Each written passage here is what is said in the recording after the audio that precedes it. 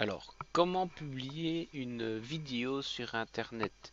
Donc j'ai fait une petite vidéo pour vous montrer comment setuper les options de vidéo et je vais la publier sur internet en utilisant YouTube et Movie Maker. Donc je vais d'abord ouvrir Movie Maker. Euh, ça c'est un programme Windows assez classique, on le trouve sur internet, il y a différentes versions. Ici c'est la version 2012 et donc c'est sans doute la, toute dernière version. On voit ici, bon, il y a différents menus euh, d'utilisation, mais il y a surtout aussi la publication qui est, très facile sur YouTube, euh, Facebook ou d'autres euh, sites internet. Donc la première chose que je vais faire, c'est charger la vidéo. je vais ajouter une vidéo que je vais aller chercher au fait dans le folder de mon programme de capture. On voit ici les, différentes vidéos. Euh, je vais ouvrir la vidéo.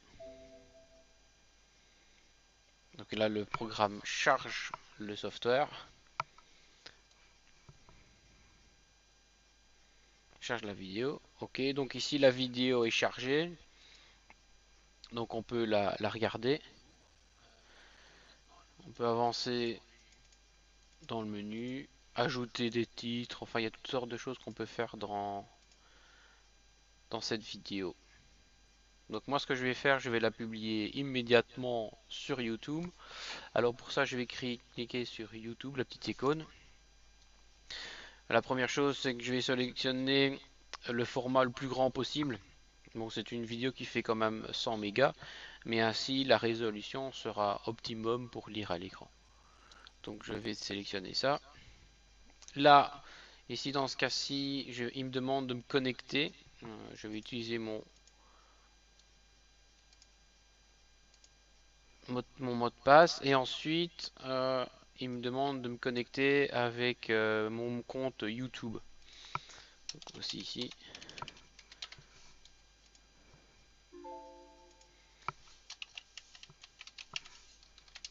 Je me connecte. Je lui donne un titre. Donc dans ce cas-ci, ça va être euh, vidéo tutoriel, deux points, setup euh, à one desktop screen recorder. Description, setup, vidéo et audio du soft alors on va séparer ici euh, du réel. Donc ça c'est des mots qui permettent de référencer la vidéo. Euh, je pense qu'on peut laisser des tutoriels vidéo comme ça. On choisit la catégorie. Euh, on va mettre science et on va mettre ça comme public et on va publier. Voilà. Le système va simplement donc sauver le fichier et ensuite va automatiquement le publier sur euh, YouTube.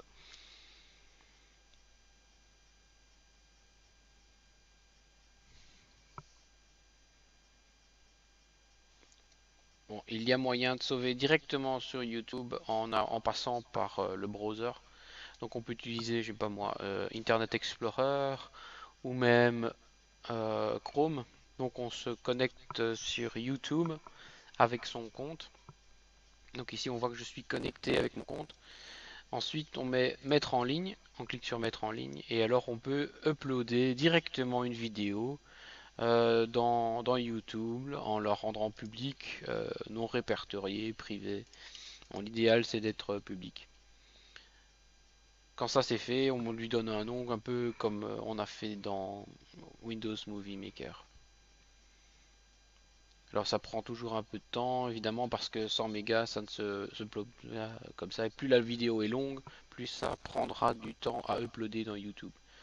À la fin lorsqu'on arrive euh, lorsque la, vidéo est téléchargée on arrive avec une euh, nouvelle vidéo et une adresse. Donc on va voir la vidéo, par exemple ici. Et on peut partager en cliquant sur partager, en récupérant l'adresse. Donc ça c'est vraiment un exemple typique. Voilà. Donc euh, on voit ici que maintenant l'étape est en train de, se publier sur internet. À la fin, on aura un petit temps d'attente pour que la vidéo soit convertie sur YouTube et puis on recevra une adresse, euh, euh, un lien YouTube où on peut aller voir sur son compte YouTube si on reçoit la vidéo quand elle est finie.